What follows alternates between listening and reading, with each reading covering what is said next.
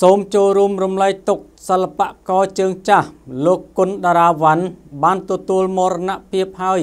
ក្នុងជន្មាយុ66ឆ្នាំ ដោយរោគាពាធ ប៉លប៉លប៉លប៉ដែនមិចបំបត្តិឈឺក្បាលរោគប្រកាំងឆាប់រហ័សនិងប្រសិទ្ធភាពខ្ពស់សិល្បករជើងចាស់លោកគុណតារាវ៉ាន់ជាតារាសម្ដែងជើងចាស់មួយរូបហើយក៏ជាមន្ត្រីរាជការផងដែរនោះនៅថ្ងៃទី11ខែមេសាឆ្នាំ2023វេលាម៉ោង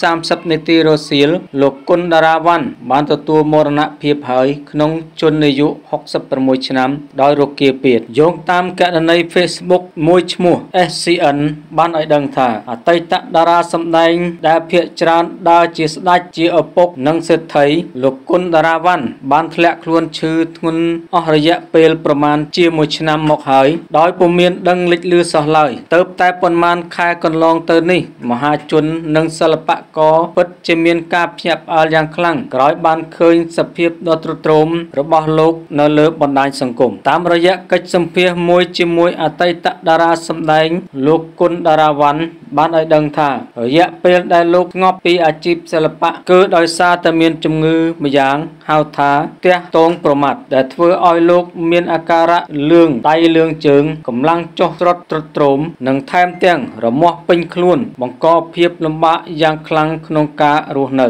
លោកក៏បានរកការព្យាបាលជាច្រើនមន្ទីរពេទ្យផងដែរប៉ុន្តែដោយមើលឃើញ ពីអាការៈជំងឺកាន់តែវិវត្តធ្ងន់ធ្ងរលោកក៏បានសម្រេចចិត្តវះកាត់ដើម្បីជីវិតចុងក្រោយរបស់លោក សូមឧទ្ទិសបួងសួង ដល់វិញ្ញាណក្ខន្ធរបស់លោកគុណដារាវ៉ាន់បានទៅកាន់សុគតិភពកំបីគ្លៀងគ្លាតឡើយបើយោងតាមការបង្ហោះរបស់សមាគមសិល្បៈខ្មែរបានប្រាប់ពីទីតាំងតម្កល់ធ្វើបុណ្យសពដែលស្ថិតនៅវត្តទួលលេខទំនាក់ទំនងក្រុមគ្រួសារសព012 649 649មកឈឺក្បាលអញ្ចឹង បូដេនមិចបំបត្តិឈឺក្បាលយ៉ាងឆាប់រហ័សប៉ដែនមិចបំបត្តិឈឺក្បាលប៉លប៉លប៉លប៉ដែនមិចបំបត្តិឈឺក្បាលរោគប្រកាំងឆាប់រហ័សនិងប្រសិទ្ធភាពខ្ពស់